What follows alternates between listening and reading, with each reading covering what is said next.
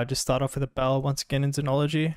You guys obviously know that's um, a very common starting point for me. Chord progression one, seven, six, seven. We're in minor.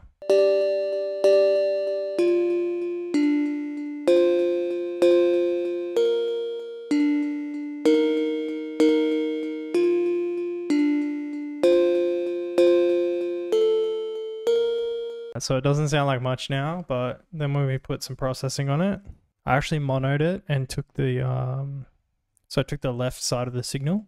Then I've just run it into a vocoder.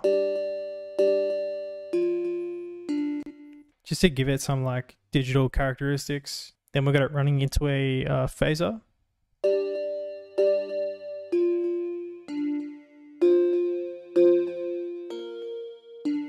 Really spread, spreads the signal out.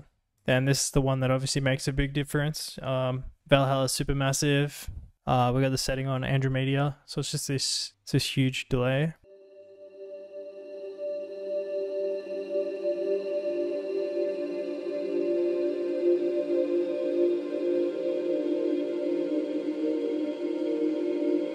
Yeah, uh, that in itself just really laid down the landscape, you know. Then we've layered it with this pad. It's actually the same preset. Bell 3 Zenology, but we just process it different. Got a vocoder on it, uh, some distortion.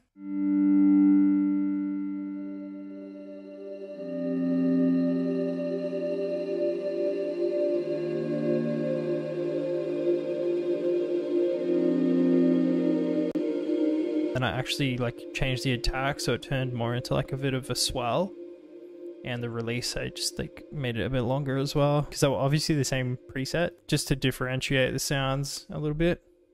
So there's those two, and then I just gave this a bit of a um, swinging kind of like pan out towards the left. I put it in this um, in this hybrid reverb. It's called Modest Corner. So it kind of sounds like it's in like an actual room. Then we're running it into just the default setting on um, Eternity Delay.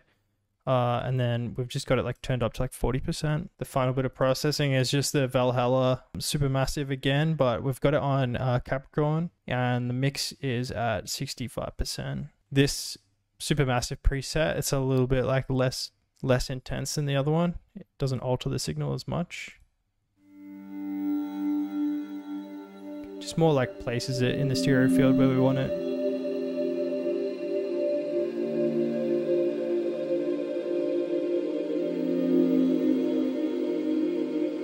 Then we duplicated Bell 3 again. This really just goes to show like how many how much you can do with like one preset. You just there's infinite ways that you can tweak stuff. So um, essentially we've got the same preset on these three elements, but we've just switched them around. So most of the parameters are the same to the to the previous uh, to the pad that we just did, but um, some things to to note. I've just got um, Portal on, so I got uh, this this preset. It's called All Night Pitcher. Basically, uh, it's like a granular kind of effect, and it just repitches like cut up bits of the signal. Then I've got uh, this is a good panning preset that I use a lot. It's called Around the Head. Um, I just pulled it back a bit, twenty seven percent, and then I just like to adjust the rate. So it's just like it's like a panning preset that kind of just like spins around your head, but as you can see, it's kind of like off axis. So it gives it kind of this like, I don't know, this like kind of confusing spin to it. I really I like to use that a lot and just kind of tweak it a little bit. So those were sort of the differences that we had. I also like I didn't touch any of these other parameters. So it's it's more, it's a bit more plucky sounding and it's a little bit more brighter.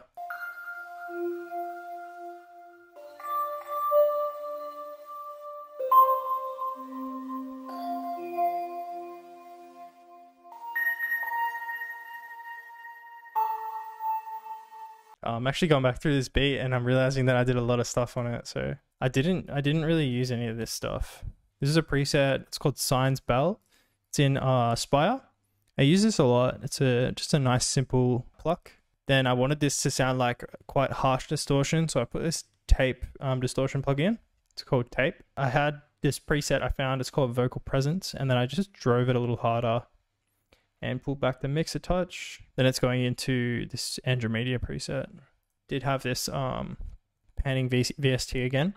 It's got quite like a harsh, um, I guess it's a sawtooth, um, and it's just like just making it like kind of bounce like this in the mix. It's more kind of like a um, side chain kind of sound to it.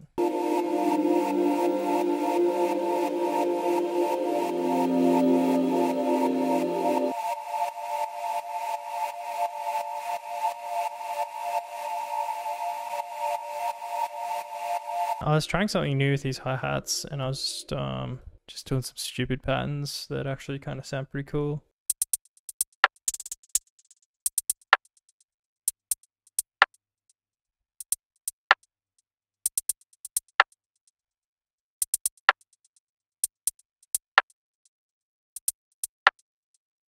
I got this kind of like weird part just at the start. I just ran that into a H delay with like 4%, just a little bit of a delay, and it makes a difference. Like, obviously, you can hear it. And then I have all of these percussive snares.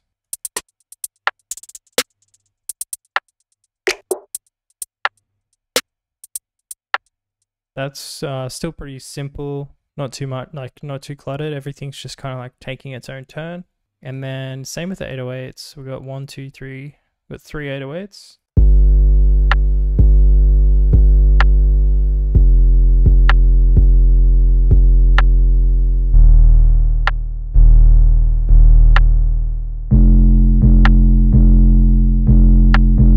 Pretty simple 808 pattern. So yeah, the only real thing that I did here was just selecting the right 808 that I felt matched the tones of the other ones. That's one thing to note I just realized with the 808 pattern. So this chord progression, it's actually a 8 bar loop. I normally make like 4 bar progressions. So they'll just be like this long, essentially shortened like that. But I find with ambient stuff, spacing them out like over the eight eight bars, they um it tends to sound better and not as like rushed. I generally get better results doing that, but it's not to say that that's the only way to go about it. So yeah, that's pretty much everything.